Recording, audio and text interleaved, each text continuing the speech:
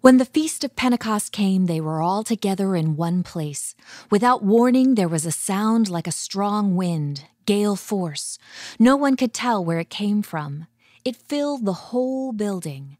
Then, like a wildfire, the Holy Spirit spread through their ranks, and they started speaking in a number of different languages as the Spirit prompted them.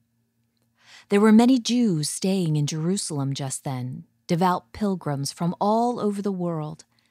When they heard the sound, they came on the run. Then, when they heard one after another their own mother tongues being spoken, they were thunderstruck. They couldn't for the life of them figure out what was going on and kept saying, Aren't these all Galileans? How come we're hearing them talk in our various mother tongues?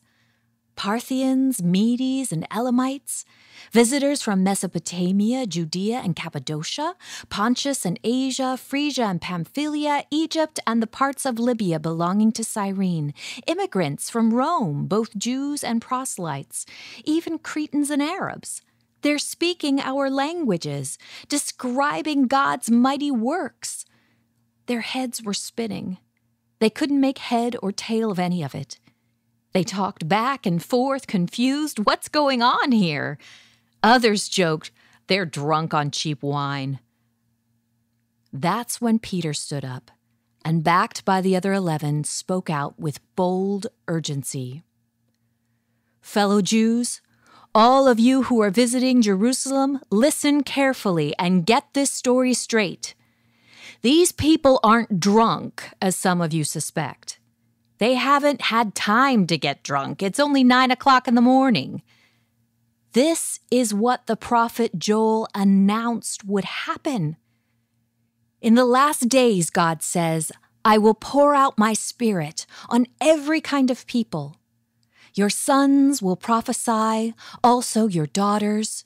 Your young men will see visions, your old men dream dreams.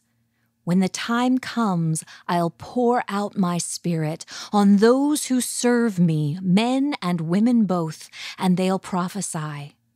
I'll set wonders in the sky above and signs on the earth below blood and fire and billowing smoke, the sun turning black and the moon blood red, before the day of the Lord arrives, the day tremendous and marvelous, and whoever calls out for help to me, God will be saved. Acts 2 1 to 21, the message.